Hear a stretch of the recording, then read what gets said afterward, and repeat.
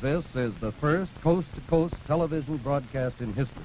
This first transcontinental television broadcast, originating at the Opera House in San Francisco, will bring you the President of the United States, Harry S. Truman, addressing the welcoming ceremony of the Japanese Peace Conference.